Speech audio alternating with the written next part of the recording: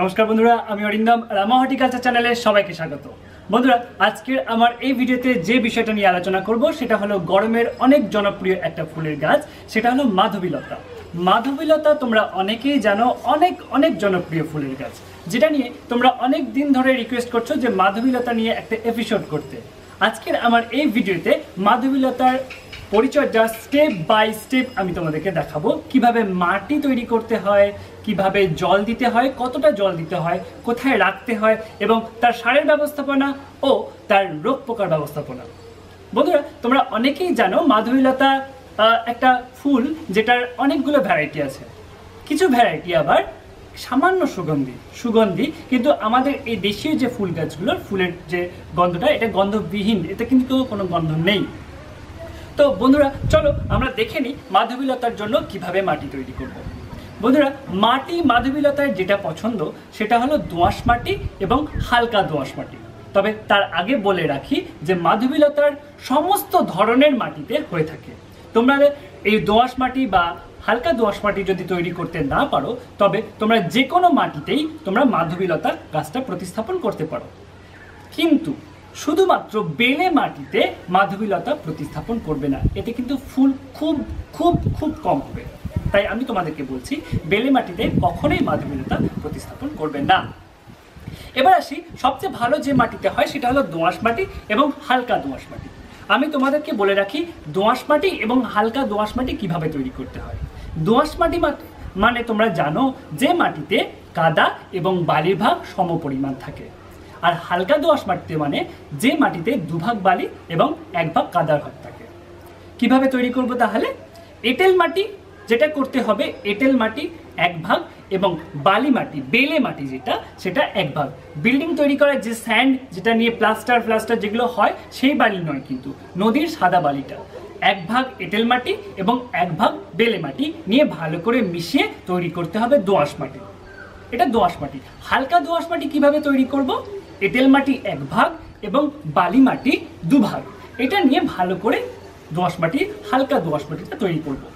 তবে আমি যেটা করি, সেটা হলো এক ভাগ এঁটেল মাটি বা হাতের কাছে বাগানের যে মাটি গার্ডেন সয়েল যাকে বলে গার্ডেন সয়েল বলতে মূলত এঁটেল মাটিকেই বোঝায়। এই মাটি এক ভাগ নেব, এক ভাগ নদীর সাদা বালি মাটি নেব, এক ভাগ ভার্মি কম্পোস্ট নেব। এই ভার্মি কম্পোস্টের পরিবর্তে তোমরা এক বছরের পচানো ডিকম্পোস্ট গোবর সার নেবে। কখনোই কাঁচা গোবর নেবে না। নিলে এক বছরের পচা পচানো গোবর সার নিলে অথবা এক বছরে পচানো যে পাতা পচা থাকে সেটা নিতে পারো। হয় গোবর সার, নয় ভার্মি কম্পোস্ট, নয় পাতা পচা। এই ভার্মি কম্পোস্ট আসলে কেঁচো সার। এই কেঁচো সার তোমরা ফার্টিলাইজারের দোকানেও পেতে পারো এবং বড় বড় যে নার্সারিগুলো আছে সেখানেও পেতে পারো। এগুলো অনেক অ্যাভেলেবেল। এটা অথবা এটা অথবা এটা নিয়ে যে কোনো একটা নিয়ে মেশাও। এর সঙ্গে দিতে হবে কোকোপিট।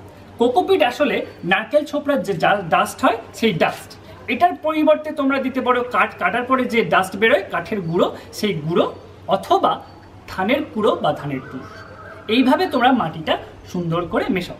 তাহলে কি হলো?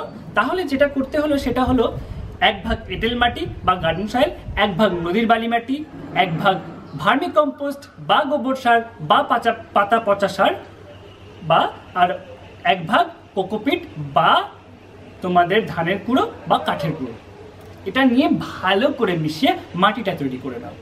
মাটি তৈরি করার পরে যেটা করতে হবে, সেটা হলো এক চামচ ফসফেট। এই এক চামচ ফসফেট দশ বা বারো ইঞ্চির জন্য যথেষ্ট মাটি তৈরি করার সময় এটা মিশিয়ে ভালো করে মাটি তৈরি করে নেবে। তারপর গিয়ে গাছটা প্রতিস্থাপন করবে। এবার আসি এই গাছের জন্য তোমরা কি ধরনের টব নেবে? টব নিতে গেলে এই গাছটা অ্যাকচুয়ালি খুব তাড়াতাড়ি বাড়ে এবং খুব তাড়াতাড়ি এর শিকড়টা ছড়িয়ে পড়ে। তাই আমি তোমাদেরকে বলব দশ বারো ইঞ্চি কমে নেবে না। বারো ইঞ্চিই নেবে, বারো ইঞ্চি সবচেয়ে ভালো হবে, তার থেকে বেশি হলে তো কোনো অসুবিধা নেই। এবার আমি তোমাদেরকে বলি যে এটা এইভাবে মাটি তৈরি করলে এই টব বেজ, বাজলে দশ বারো ইঞ্চি তার ওপরের টবগুলো বাঁচতে পারলে কিন্তু এই মাটির, এই টবে যখন আমরা গাছ প্রতিস্থাপন করব, যে কোনো গাছ, যে কোনো গাছ যখন কোনো টবে প্রতিস্থাপন করব, সেই টবের একটা ড্রেনেজ সিস্টেম তৈরি করতে হয়। যাতে কি হয়, গাছে জল দেওয়ার সময় সেই জলটা মাটিতে বসে না গিয়ে গাছতলা দিয়ে বেরিয়ে যায়। যদি মাটিতে বসে যায়, তাহলে কি হবে, গাছের গোড়া পচে যেতে পারে এবং সেই অনুযায়ী ফাঙ্গাস লেগে গাছটা কিন্তু মারা যেতে পারে। ফলে কি হবে, আমাদের ড্রেনেজ সিস্টেমটা সুন্দর করে তৈরি করতে হবে। একটা টব, টবের কয়েকটা হোল থাকে। দেখো, এই হোল একটা হোল থাকতে পারে, তিনটে হোল থাকতে পারে, অনেকগুলো হোল থাকতে পারে। তবে যে টবে তিনটে হোল থাকে, সেই টবটা কিন্তু আসলে ভালো টব। এবার আমি তোমাদেরকে বলি যে নিচের যে তলার যে হোলটা থাকে, সেই তলার হোলটাকে একটা মাটির টুকরো যে পাত্র, সেই পাত্র ভাঙা, ঢেউ খেলানো খোলাম, খোলামকুচি দিয়ে এটাকে বন্ধ করতে হবে। এক দিকটা নিচু, এক দিকটা উঁচু। দেখো, আমরা এই নিচু দিকটা কিন্তু এর ওপরে বসাবো, ওপর উঁচু দিকটা কিন্তু ওপরের দিকে থাকবে। আর ঠিক তার উল্টোটা কিন্তু পাশের হোলগুলোতে করব। দেখো, ঠিক উল্টোটা। আমরা উঁচু দিকটা ভিতরের দিকে আর নিচু দিকটা বাইরের দিকে। করে নিলাম। এটা হলো প্রথম স্টেপ দ্বিতীয় স্টেপ যেটা করতে হবে টুকরো টুকরো নুড়ি পাথর বা ইটের টুকরো বা স্টোন চিপ আমি অ্যাকচুয়ালি স্টোন চিপ এটা ব্যবহার করি স্টোন চিপটা সুন্দর করে লেয়ার করে এই যে খোলামকুচি আছে, সেই খোলামকুচিটাকে বন্ধ করে দিতে হবে। এগুলো করার কারণ হলো, আমরা যে মাটিটা দেব, যাতে হোলটা যাতে বন্ধ না করতে পারে, ফলে গাছের গোড়ায় জল জমার কোনো রকম সম্ভাবনা থাকবে না এবং গাছটা অনেক সুস্থ থাকবে। এরপরে যে ফাইনাল স্টেপ হবে এই যে স্টোন চিপটা দেওয়া হলো স্টোন চিপটা কে আমরা লেয়ার করে এই বালির বিল্ডিং তৈরি করার যে স্ট্যান্ডটা সেটা দিয়ে ভালো করে এটাকে বন্ধ করে দেবো। ফলে কি হবে? আমাদের আর কখনোই জল জমার কোনো রকম সম্ভাবনা থাকবে না। দেখো, সুন্দর করে লেয়ারটা তৈরি করে দিলাম। এবং আমরা ড্রেনেজ সিস্টেমের পুরো কাজটাই আমরা কমপ্লিট করব। দেখো, হয়ে গেল।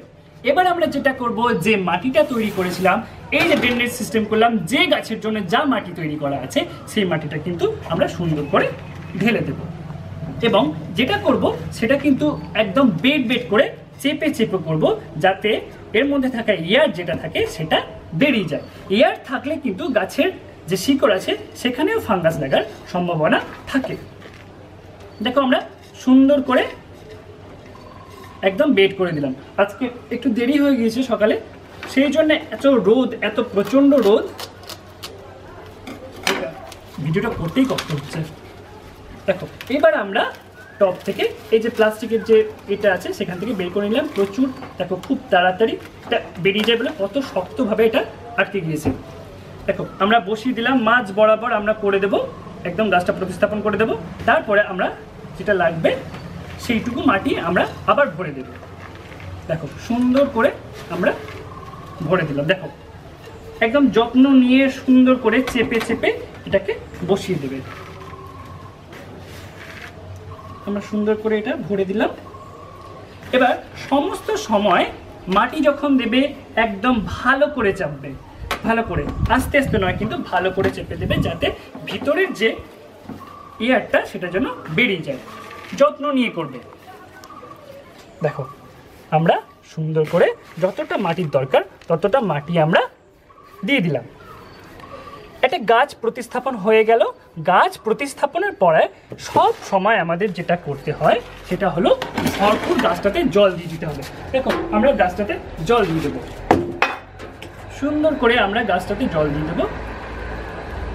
জলটা কিন্তু একদম ভরপুর দেবো, একদম কানায় কানায় ভরে দেবো।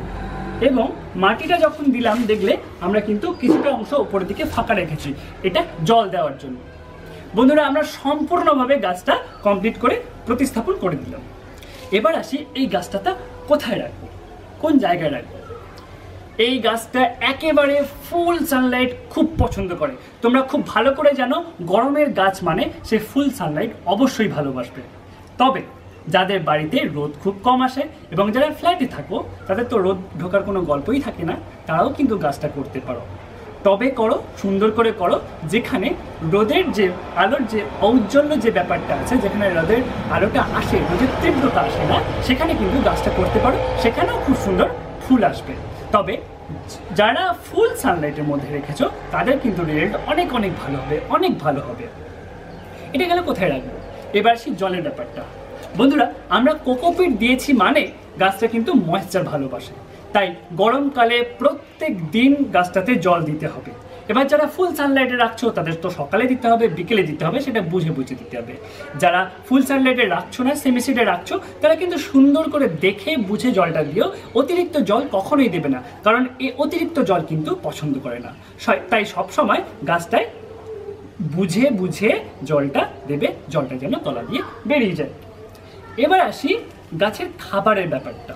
বন্ধুরা, তার আগে আমি তোমাদেরকে বলে রাখি যে খাবারের আগে এই গাছটা যেহেতু চারিদিকটায় অনেক তাড়াতাড়ি বেড়ে যায়, শিকড়টা অনেক তাড়াতাড়ি বেড়ে যায়, তাই এই গাছটা বছরে তিনবার ওপরের মাটিটাকে সরিয়ে নিতে হবে।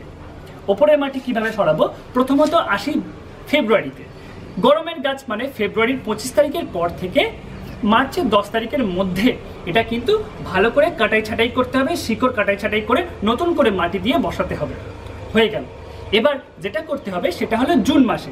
জুন মাসে ঠিক এই যে ফাঁকা অংশটা আছে, যেখান থেকে মাটিটা শুরু, সে তার মাটি থেকে দুই ইঞ্চি দুই ইঞ্চি উপরের মাটি সরিয়ে নিয়ে সমপরিমাণ এই যে মাটি আছে তোমার কাছে, সেই মাটির সঙ্গে সমপরিমাণ ভার্মি কম্পোস্ট বা গোবর সার ভালো করে মিশিয়ে আবার দু ইঞ্চি ভরাট করে দিতে হবে।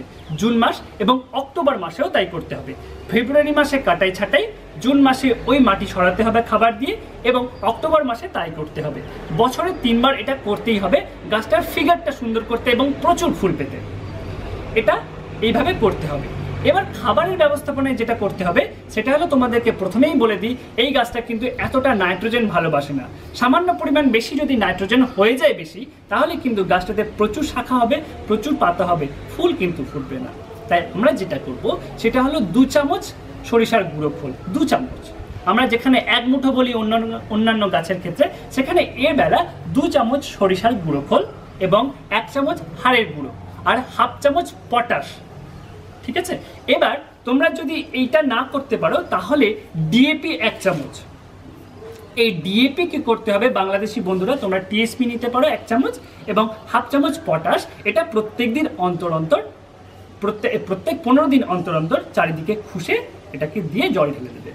এবার যেটা করতে হবে, আগেরটা যেটা বললাম, দু চামচ সরিষার গুঁড়ো খোল এবং যেটা হলো তোমার এক চামচ হাড় গুঁড়ো এবং হাফ চামচ যে পটাশ, এটা তোমরা কুড়ি দিন অন্তর অন্তর দিতে পারো।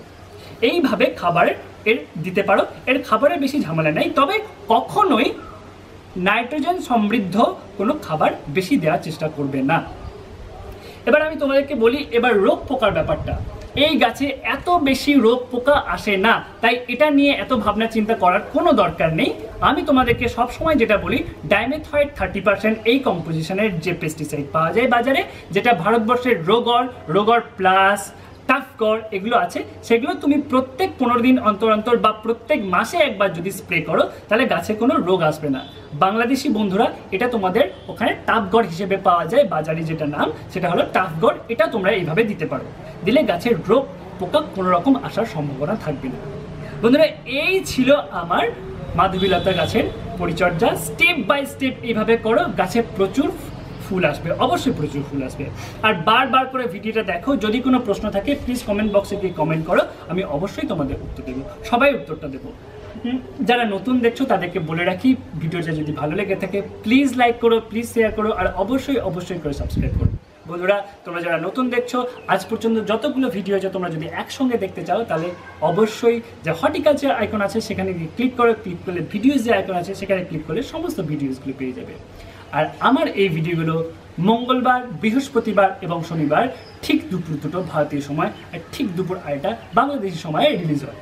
বন্ধুরা তোমরা সবাই খুব খুব খুব ভালো থেকো খুব মজা করো। নমস্কার।